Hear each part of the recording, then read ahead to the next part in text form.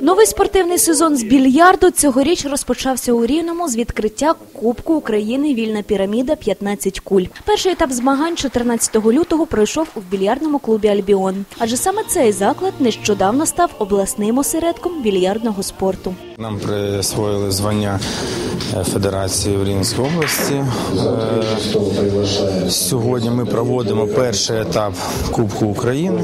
Приїхало дуже багато спортсменів з різних міст. У першому етапі змагань беруть участь півсотні визнаних майстрів більярдного спорту. Серед них є і 11 жінок. Це шість спортсменок, які мають звання майстер спорту України, і п'ять спортсменок, які мають е, звання кандидат майстер спорту України. От я вам проводжу такий приклад. От що жінки це вже досить досвідчені і е, титуловані гравці. Анастасія на змагання приїхала з Полтавщини. Дівчина ще в 16 років здобула звання майстра спорту з більярду. Також вона має і титул чемпіонки України. І хоча, за словами дівчини, суперниці в неї доволі сильні, проте вона налаштована стати дворазовою чемпіонкою України. Собралось очень много сильных участниц, э, хоть их и мало, но все очень сильные и достойные соперницы. Євген Новосад минулоріч став бронзовим призером чемпіонату світу з більярду. Тому серед суперників хлопець сьогодні не бачить для себе рівних. За його словами, в Рівне він частенько приїздить просто до друзів. А я частенько бываю здесь, уже город стал родным благодаря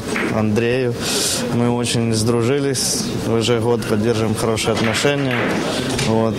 Очень часто бываю здесь, в городе, мне очень нравится. За результатами триденних змагань з 50 учасників до фіналу дійдуть лише четверо. А двоє з них в подальшому візьмуть участь в наступному етапі Кубку України, що відбудеться вже наприкінці травня. Владислава Стецюк, Вадим Дроздюк, випуск новин.